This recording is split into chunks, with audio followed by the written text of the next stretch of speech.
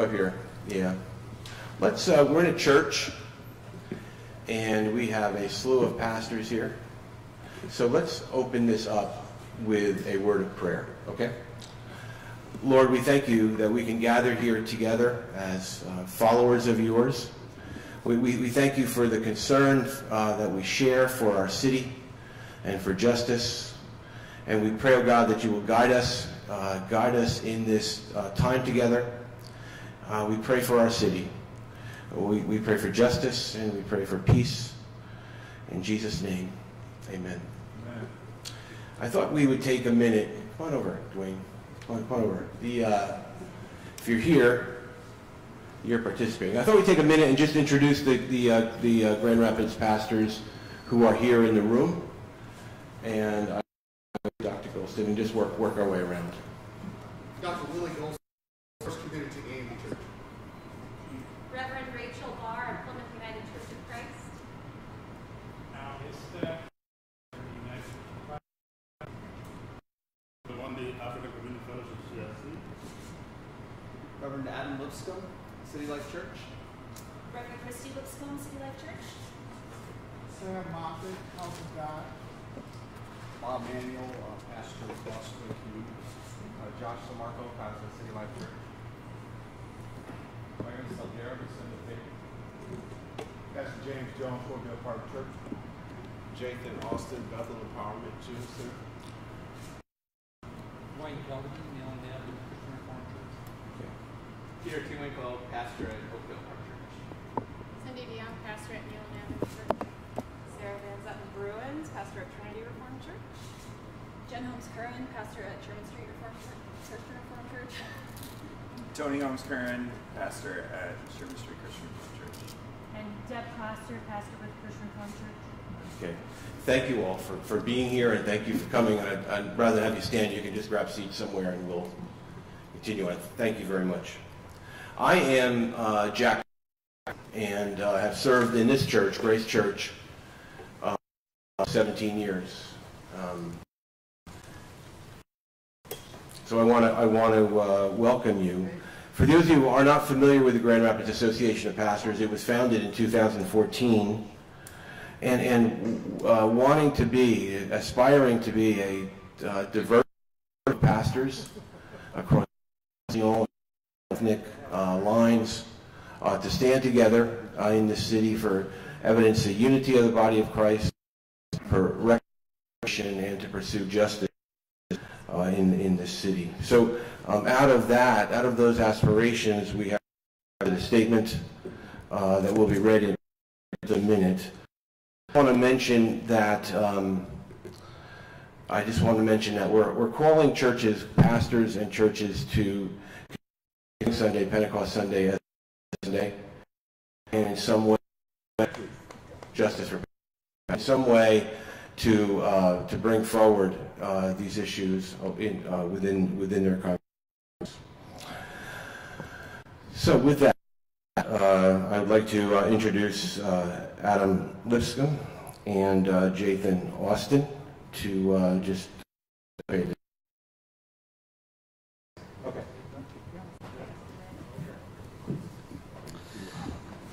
So Adam Lipscomb and uh, read the, the letter that uh, many of our pastors have, have signed. Is a time and a season this is a time for anger. We ministers of Christian churches in Grand Rapids call for accountability for the killing of Patrick Lyoya. Black residents of Grand Rapids, people of color in this community need to feel safe. To that end, actions must be taken. We stand with our colleagues in the Black Clergy Coalition and echo the NAACP, the ACLU, Urban Core Collective, a Glimpse of Africa, and other leaders who represent those most impacted by this incident in the following. A prosecutor of Kent County who does not work regularly with the must be appointed to handle this case, as is legally required in many states and is widely acknowledged to be best practice. A federal investigation must be immediately launched into this killing along with the history and culture of the GRPD. The community must have a seat at the table in the ongoing negotiations over the GRPD police union contracts, which have for far too long shielded officers from accountability and which do not reflect the community's priorities for how to achieve public safety in our city. Both the Civilian Appeal Board and the Office of Oversight and Public Accountability must be given the authority, resources, and funding to provide true civilian oversight and be able to change. And the city and GR constitutional right of all people to protest this tragedy, exercise their freedom of speech without violence, threats, or intimidation. Prophetic voices in our community have been crying out for change in the Grand Rapids Police Department for decades. We hear in these prophetic calls to action the declaration that each person is created in God's image. We recognize the call of the scriptures to do justice without showing favoritism, and we see the, the ministry of Jesus, who is not only a reconciler of humanity, but is also the coming judge to set things right. These prophetic voices cried out for change when black boys were threatened with GRPD guns while walking home from playing basketball at the Kroc Center. These prophetic voices cried out for change when evidence showed clearly that black motorists are twice as likely to be pulled over by the GRPD. These prophetic voices cried out for change when 11-year-old Honesty Hodges had a gun pointed at her and was then handcuffed by the GRPD in her backyard. These prophetic voices cried out for change when Jilmar Ramos Gomez, a U.S. citizen who is who is multiple forms of identification over to Immigration and Customs Enforcement by the GRPD. The death of Patrick Lyoya, has devastated families, most acutely his parents and the many members of the Congolese community and other immigrants from Africa. It has also devastated every person who watched the video of Patrick's death and understood that blackness itself is considered a threat. Too often, it is itself a death sentence. Yes, this is a time for anger. Our anger is appropriate, it is justified, and it is even holy. This anger is rooted in our deep belief in the dignity, the image of God that dwelled in Patrick Lyoya. It is anger that is rooted in our ongoing belief in the dignity of God that dwells in Officer Schurr. It is anger that comes from admitting that we have created, accepted, perpetuated a system that trains an officer to discern that his best choice in that moment was to reach for his gun and pull the trigger. The gospel of Jesus calls us to work against racism. We commit to being agents of change in any system that makes this community less safe for black and brown people for as long as it takes to see change come. This over the long term. For the short term, we join with other organizations in Grand Rapids to call for the five points above. That is how our government can bear witness to the humanity and dignity of Patrick Lyoya. Thank you.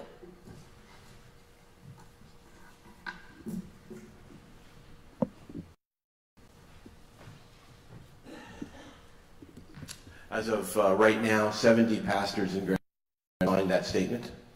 And if any of you do not have a copy and want to have a copy, we can make one available to you. Um, they're here.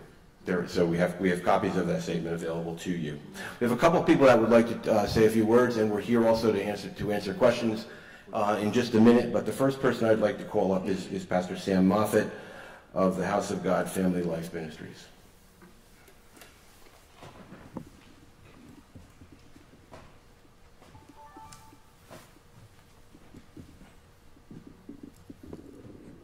Good afternoon. As a part of the Rapids Area Association of Pastors, um, I here to simply encourage us as a community uh, of believers in particular to unite around the value of life. Um, we've all watched the video and uh, watched being taken unnecessarily. The question that's is, uh, could there have been another outcome?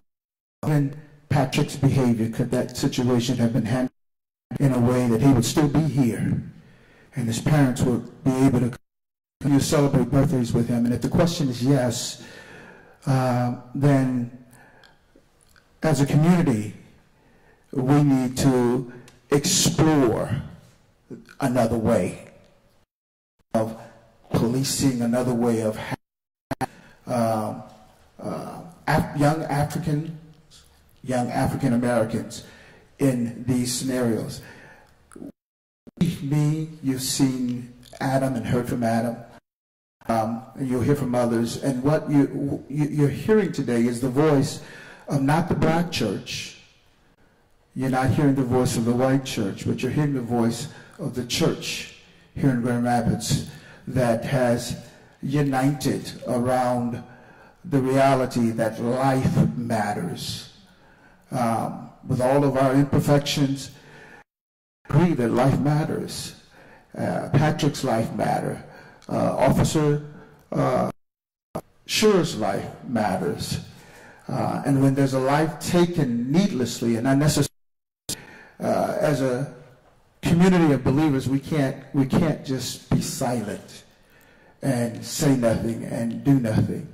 And so that's why we're here today, because his life matters and we're, in, we're endeavoring to honor him, uh, honor his family's wishes, wishes, as well as the Congolese community's wishes uh, to pursue justice uh, in his behalf. So we're appealing to the officials uh, of our community as, as the church uh, so let's set aside our biases, our, our, our uh, political preferences, and let's just do what's right in this instance.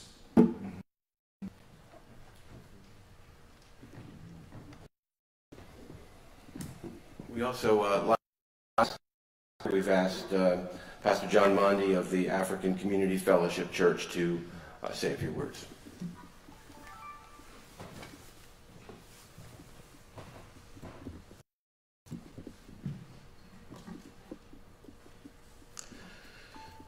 Good afternoon, and um, it's good to be here with uh, brothers and sisters in the Lord, gathering under uh, such circumstances where we're still grieving and mourning uh, the loss of a precious life. But before I say anything, I would like to in my gratitude and thanksgiving on behalf of the African immigrants which I um, uh, not worthy to represent because it's not a monolithic community. Community, although we come from a spiritual, one of the spiritual leaders here, it's such a privilege to speak on their behalf.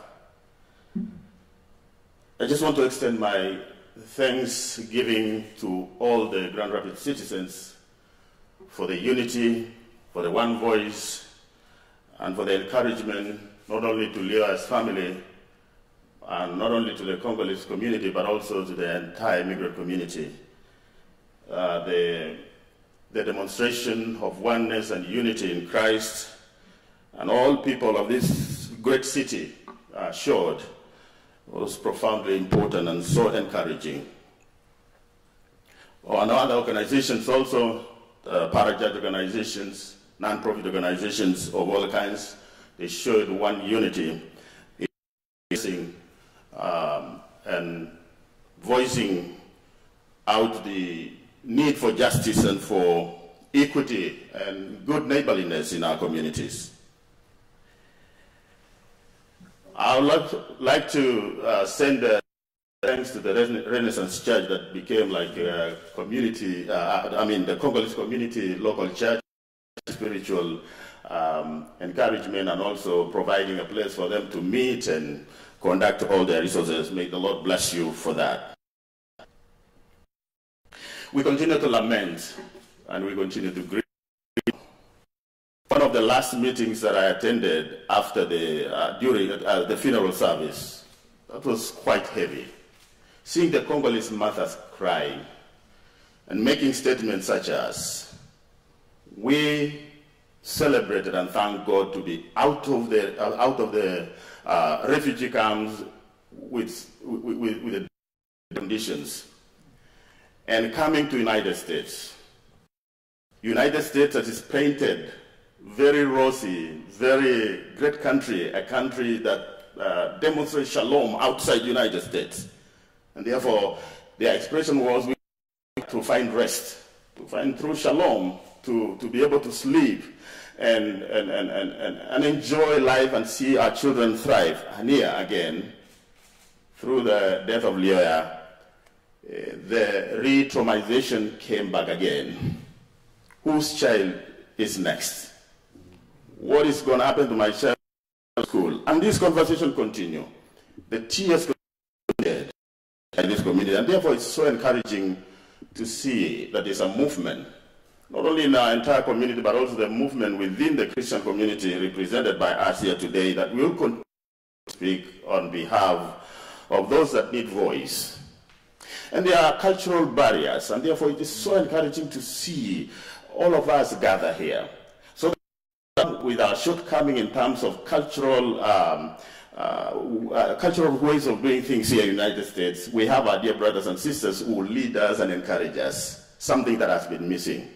And in fact, through this process, I have been contemplating, yes, as a black person, before the details, Lyoya was just but another black man.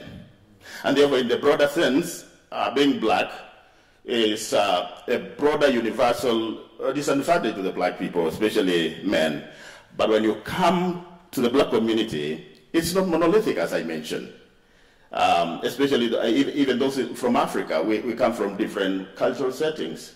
And therefore, the, the theme of loving your neighbor, uh, the theme of loving the stranger and welcoming them, if that has to take place, then we have to take the nitty-gritties of getting to know each other well. These microcultures, you asked a very important question, could there be something else that could have been done in that video?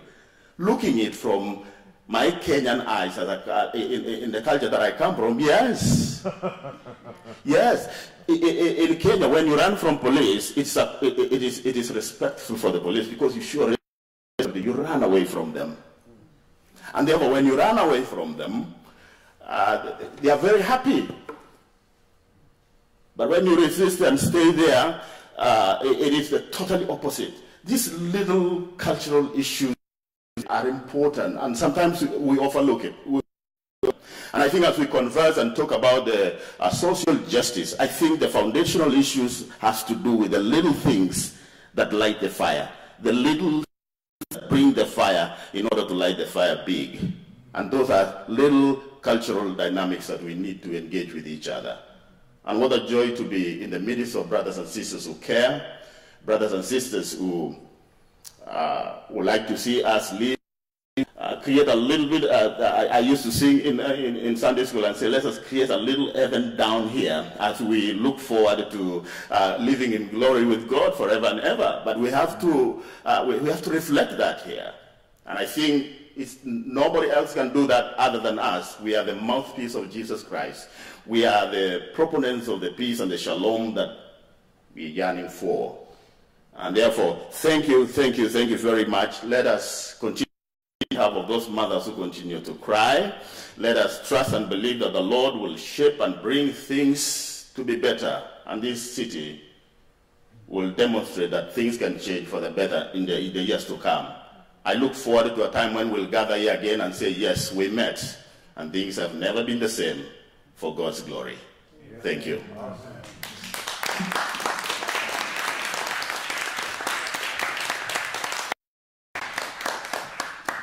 Thank you, Pastor. We'd like to be uh, available to answer any questions that you have, and I'd ask uh, uh, Pastor J Jathan Austin and uh, Dr. Willie Golston and uh, Peter Winkle and Adam going to come to come forward, and um, if you have any questions, we will attempt to answer them.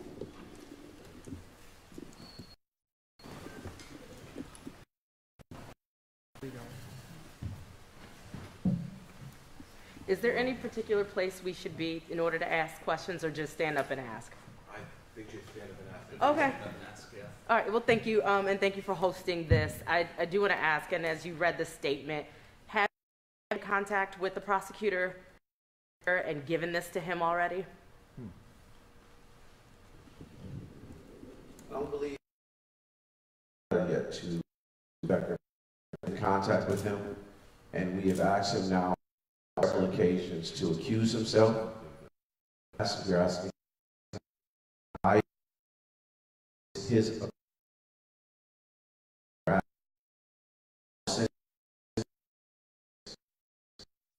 he has refused to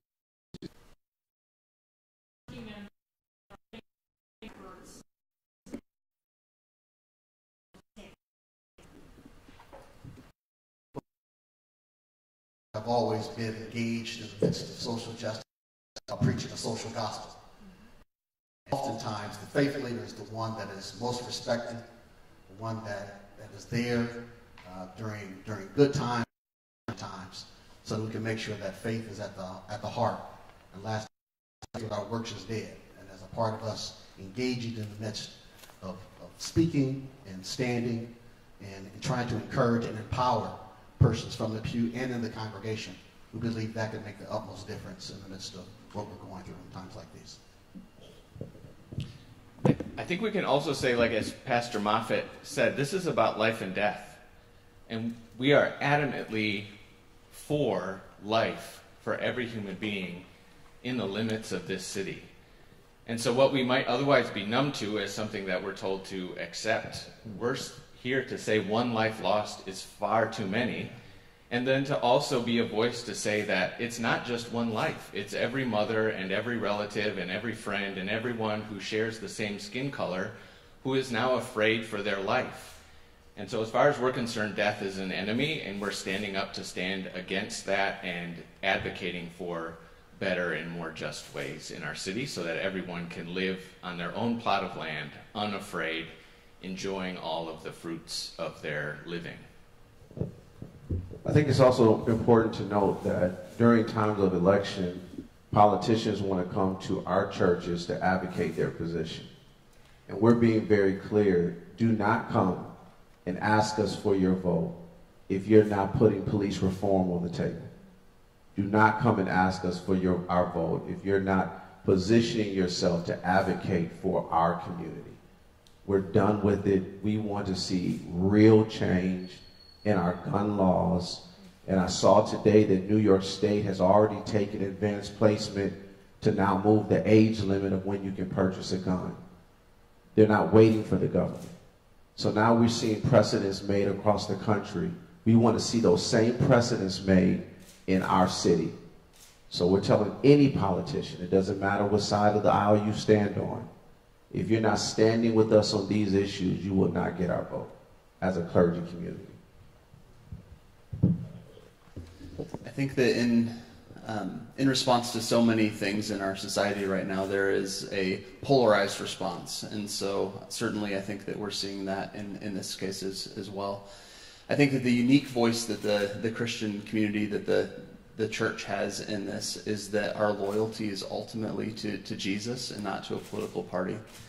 And so uh, we're able to stand apart and express the value that we believe God has for, for life in, in this moment. And uh, the, the, Christian church has had this long standing uh, tradition of not, um, not uniting with, uh, with the government and, and things like this, but to be able to stand apart and to be a prophetic voice in moments like this. And so uh, that's the role that we're wanting to take here. I'll use a cliche here actions speak louder than words. There were a list of incidents uh, earlier. There has been leadership changeover from Rahinsky to Payne to now Winstrom. There have been studies conducted. Actions and words. Where are we right now? What are the challenges? And do you believe Eric Winstrom uh, is forthcoming when he said earlier, and I paraphrase, in the first 30 days, I want to meet with community where they are. Is that happening? Do you see a sincere voice for change at HQ? I believe that at headquarters, the chief has tried to be as, as transparent as he, as he can be. Uh, his schedule has definitely been open to meeting with person, any group. Uh, he's willing to meet them constantly uh, in that capacity.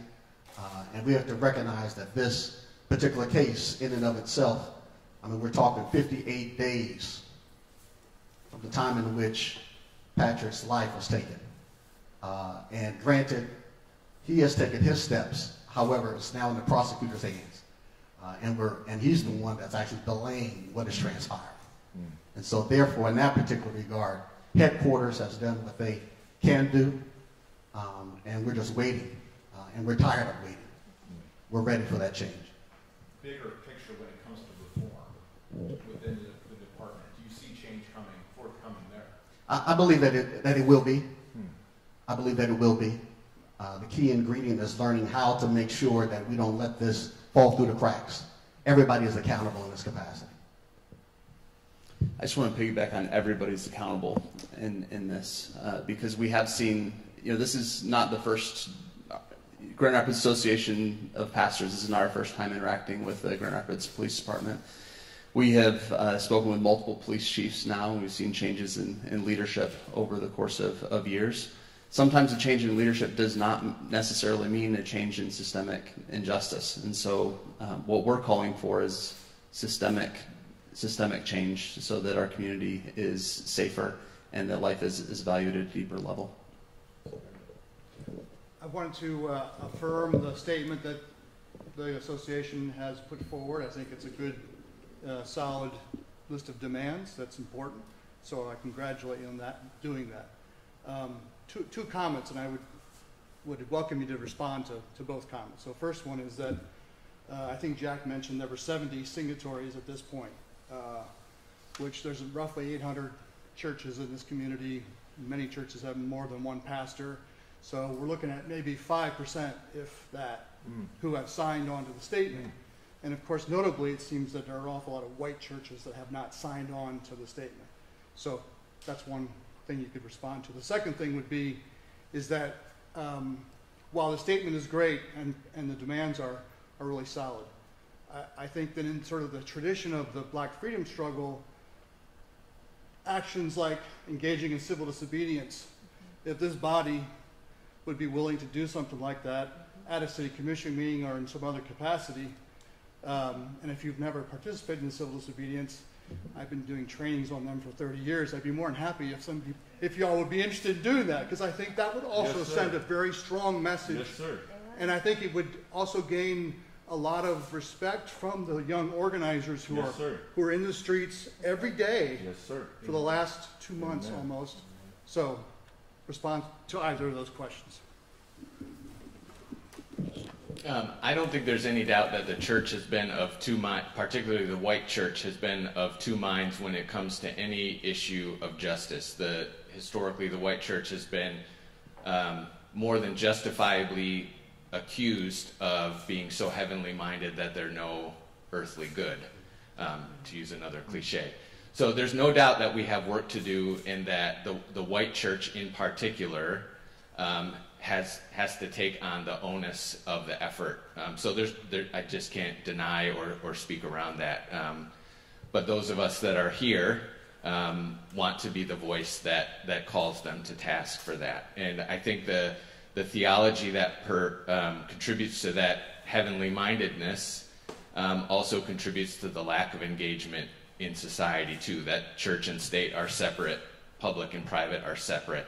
Um, so we have issues that we have to tend to, and um, I can sit up here today and to tell you to, that i am willing to do my part. We're willing to do our part with the white church um, that needs to step in and, and play the role that God has called us to play. I also want to say good, great points that you're making. I think also we can't be just linear in our approach to this. Um, as the clergy, um, what thing that we have learned is we're doing a lot of work behind the scenes, but we're not making that work known. And so we've got to do a better job of making sure you know that we're meeting with the county commissioners, that we're meeting with the mayor, that we're meeting um, uh, with the chief, because those things then bring impact because we're using our influence like now to say, let us be a voice openly so people can hear we're not okay with this. We're not standing back, being quiet. We're pushing forward. And so as the protesters in the streets are doing their job, we feel like it's necessary for us to step up and do ours. That I think hand in hand we create the community that we want. Um, so that way everybody is doing their job and their assignment. What unique power do you think having 70 plus uh, clergy members sign a document has on affecting change? Hmm, good question. I don't think we're focusing on 70. I think we need to focus on the diversity of the 70 that signed. Hmm. If we get caught up in the number, it's just a number. But we need to get caught up in the fact that you have black, white, Latino, Asian, an entire community of 70 that represents our community. If we swab our community, you see the 70 in that community. And so we're swabbing our community to let this community know we're not okay. So there is a greater majority, and yes, we can get 1,300 signatures, and that would be phenomenal, and we can. But we want to step forward now to say we have enough swab of our community to say this is not okay. And that we want to bring real healing, real restoration to not just the Congolese community, but to the black and brown community that serve, that pay taxes, that live and raise their families, their children, and they don't have to be scared. I've got a 19 year old. He's not even driving right now. I don't even want him to drive right now because I don't know what will happen to him when he leaves my house. I guess what I'm asking, I know there are people who will watch this and they will say, well, it's just a letter, they're just signing it. You know, obviously there's work going on behind the scenes, but what makes this different from other petitions that have been signed by, you know, thousands of people across the nation when they've seen the video? What do you think specifically will affect change in our community from this effort here? Sunday. I do think that um, the people who have signed the letter are pastors and they represent whole congregations. And so I, I do think that uh, those 70 signatures represent thousands of people in our community who would like to, to see change in, in this regard. And, um, you know, you're asking pastors these questions, and so my answer is a, as a pastor. I think that a lot of times when um, you ask a pastor about power, we just would express it differently. We don't think that power ultimately comes from popularity or from having the majority of people behind you. These are 70 people who are representing thousands of people who are who are praying and who are, are digging in, who are um, who are uh, calling on both heaven and earth uh, for, for change in, in this regard. And so, yeah, we do think that, that we can make a difference and that we've been called to do so in this moment. The expectation? Um, I think maybe that's the best way to look at this. Because pastors have power, right, from the pulpit. Pastors also have series that they get wrapped up in. They want to get through those series. I mean, what is the message to the congregation? How does this get through, other than the 70 signatures? How do you reach your congregations?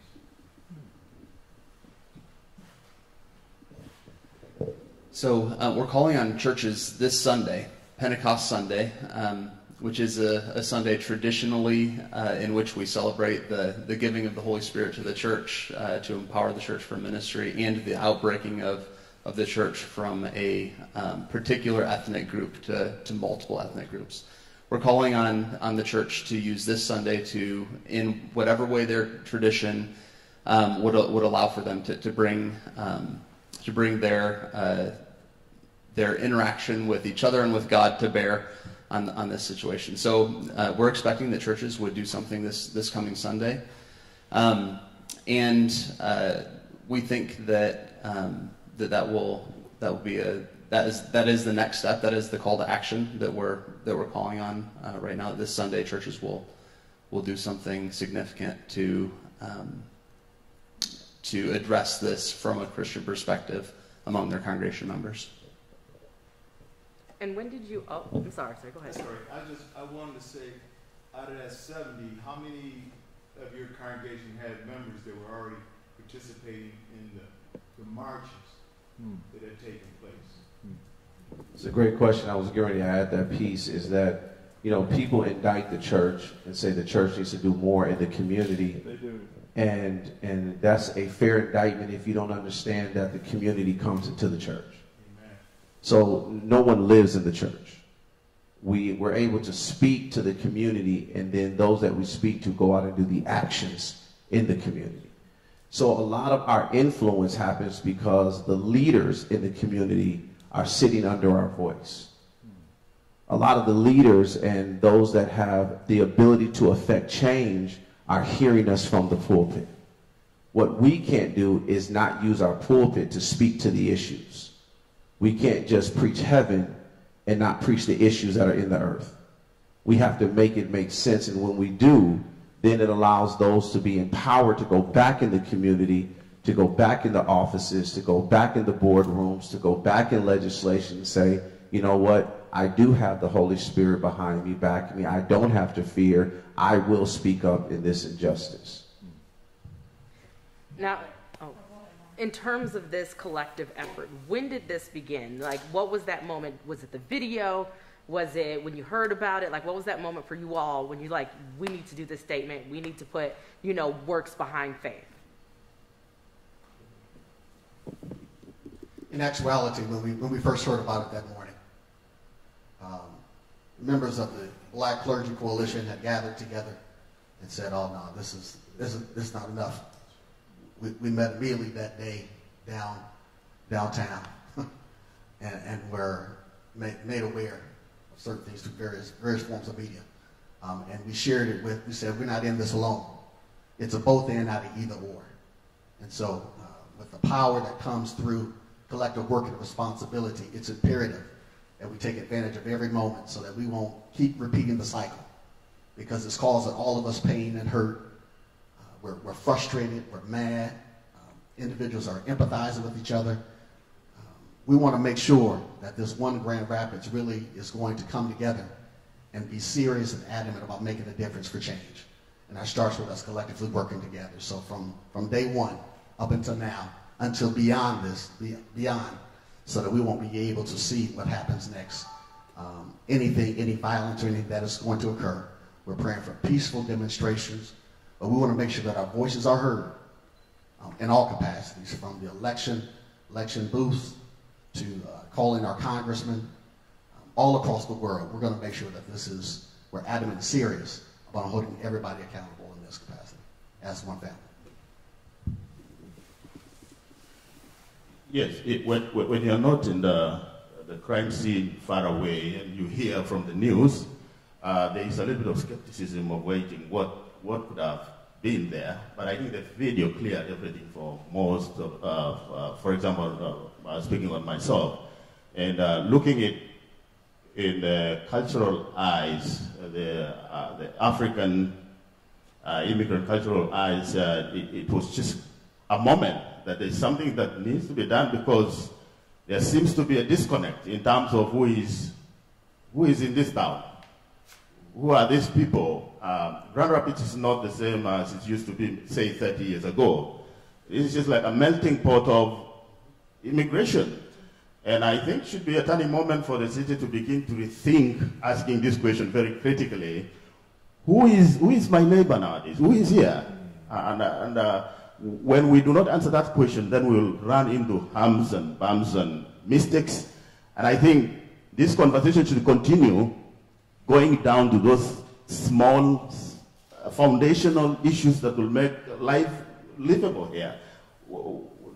Uh, when we know each other's uh, behaviors, how we live uh, in those small microcultures that will melt into this broader culture that we live uh, called the United States. So yeah, for me, it was the, the video that said, whoa, there's something wrong here in terms of who is who lives here. And now even the relationship with the police and the community, is, we come from different, uh, different settings. And now, uh, working within a system that's already there, uh, things like this happen yeah, this conversation needs to continue going down to the foundations. There have been a lot of calls for accountability and justice. What does that is such a great question. Thank you for asking because we've learned so much. We've learned that protesting is great, but if we don't change and reform the systemic laws that protect these officers that can shoot someone and their name not even be mentioned, these are issues that go far beyond what we're even saying here. So that's why we've got to go to legislation. That's why now we've got to tell our politicians, you do not have our support because we're doing this work now because we want to see real results. Those results now need to take place that does not protect officers in these instances. These instances now need to be reformed so that we all feel safe and legislation cannot protect them and they can't hide behind them. One of our, our calls to action is the community must have a seat at the table in ongoing negotiations over the GRPD police union contracts. We've learned over the course of years before this incident, um, Grand Rapids Association of Pastors has been uh, connecting with the, the, police over a variety of different injustices. Um, that often it is the protection of the, the unions that, that causes the systemic injustice to persist. And so I think that the, the demands that we've put together are um, ones that uh, have been, you know, they're, we share them with many other organizations, but uh, we've also seen by experience that um, these are some systemic points, friction points, that if we were able to make some movement there, we might see uh, the needle move. And so, yes to all of that. Um, 100% systemic change needs to happen. Um, but I just want to add relative to the humanity and dignity of a, an individual, I want to be able to go to people and say, do you trust people in charge and have them say yes. Mm-hmm. I want to be able to go to citizens of Grand Rapids and say, do you feel safe to ride your bike or drive a car or walk down the street without being harmed? And if they can answer yes to questions like that, then I'll know that the systemic changes we've made have been, have been just. Um, so I, that's just, a, I think, an important layer to your question as well. How have city leaders responded so far to the, uh, the demands? Hmm. Yeah. Have they been sent the letter? Uh, this morning, uh, someone from the city manager's office emailed uh, GRAP, asked if we would be interested in meeting with uh, the police chief or with the citizens board uh, director. So answer your question, it sounds like they've been been made aware of the of the letter. It's, it was a public letter, um, and uh, so yeah, that they, um, I mean that they're asking for sounds like uh, for for a meeting with with us, um, but yeah, we don't have any inside insight into how they're responding. And you guys had mentioned that there was some work behind the scenes being done, so I'm sure at least components of these demands have been brought up to city leaders since uh, Patrick's death and killing. Uh, what has the response been? So Adam has stated something that's very um, critical to this work has been going on for a while. The NAACP has been put together a list of demands and uh, things that they had asked for, as well as the Black Clergy Coalition, and we have yet to see these things happen. So we have yet to see them really act with real results to see change happen. So that's why now we feel like it's imperative for us to turn the heat up because what oftentimes happens is we meet in these back rooms, private conversations, and you're pacified. But now we recognize that we cannot stay in those back rooms. We've got to speak out openly to say these are our demands so the community and the public knows now this is what we're asking for because that pressure needs to be placed on our community leaders.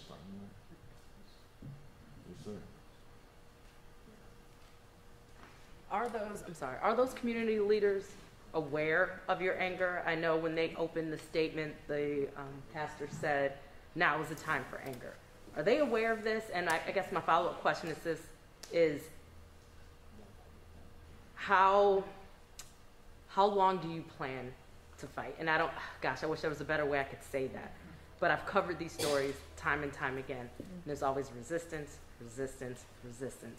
And over time, you see the person wear down and down and down. How long do you plan to fight?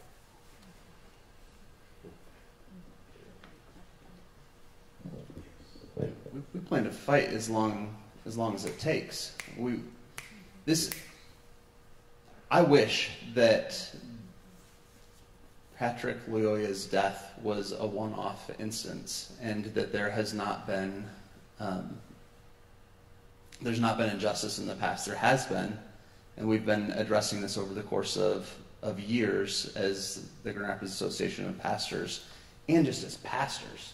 Um, we have have been addressing this. We, we recognize we live in a broken world, and yet um, we have an ongoing and persistence, persistent. Uh, um, you know, we're, we're not going to let it go. Uh, we're we're going to keep keep going after it. Yeah, we want to see real change happen in our community. I like to add to what Adam has stated is the pain of watching Patrick's death. We didn't just watch a man get shot, we watched a man get executed. That pain is immeasurable and I believe has stirred the pot. For the first time in our community, I've been here 15 years, I've not seen us walk hand in hand with the Congolese community, with the diversity of the passion of white, black, and brown pastors. For the first time since I've been here, I've seen a collective community with one voice saying enough. So Patrick's blood spilled in the streets of Grand Rapids, I believe, has fueled the passion to say we're not stopping until real change has come. And we're going to do it together this time. It's not just isolated voices. It's a sound from Grand Rapids that is echoing to this community we're not taking anymore. Justice for Patrick. Justice for Patrick. Gentlemen, will you down my name? Say your name. Sure.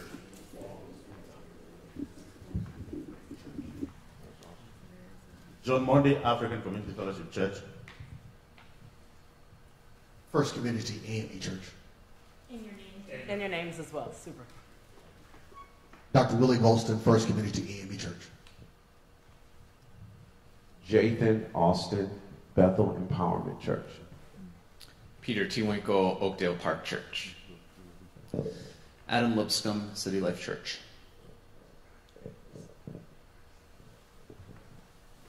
Uh, John, is there a way you think the community in Grand Rapids, the people of Grand Rapids, how do they show their support to the grieving family and the grieving communities they're close to? What's your sense about the people of Grand Rapids, the regular citizens, the ones with signs, the ones who ain't marching but they got signs? What do those people do to, to, to support this family? Uh, your big, you know, anything? Thank you very much. I, I think I echo my brother's uh, observation that this uh, has brought us together in a very profound way. Um, since this happened, it's been, uh, as I, I, as if you recall my introduction, uh, as African community, we are so grateful that uh, what we have seen is just embrace of love, uh, care, uh, empathy, um, encouraging the family.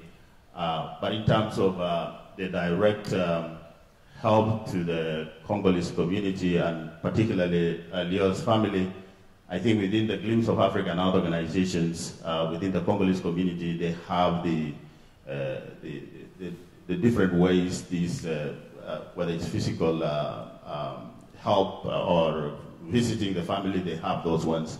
But in the general observation in terms of uh, uh, working this together uh, as, as, as, as, as, a Grand Rapids community, there's never been a, a whole of coldness that we have felt, but only warmth.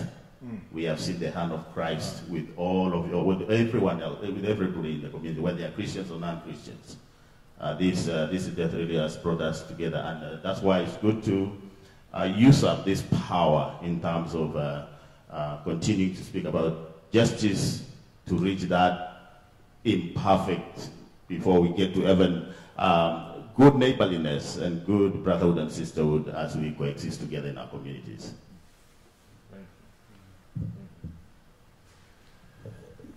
Do think that it's important as the Christian community and as the Grand Rapids community that we uh, that we're in conversation with the Congolese community, particularly the Congolese pastors. Um, I think a lot of times we uh, do what we think is right in a in a moment without asking how people would like to be helped, and so I would encourage all of our community to um, listen well to the Congolese community right now. Mm. The father and the mother of Patrick um, are very clear with us as well that we are in communication with them and they're assessing their needs. You know, um, I love what Pastor said is they are, as you can imagine, grieving while at the same time trying to figure out justice. And so through this grief, they're trying to assess but you can imagine every day has to be a day that's difficult to wake up in. So we're giving them the time, we're asking the community to give them the time to assess their needs, but we are in communication with them. And they are very appreciative, as Pastor said, that they know the community is waiting and here for them. Um, but what they have asked, they said to us, is please be peaceful in your approach please represent us in the way that represents Christ.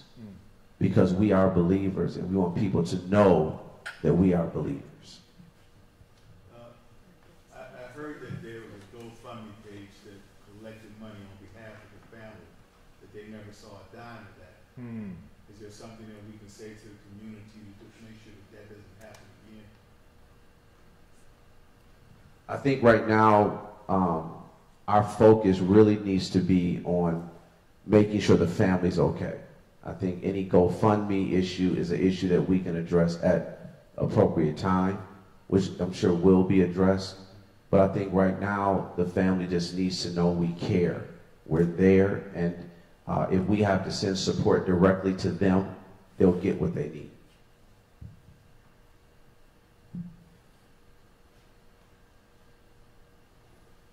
Okay.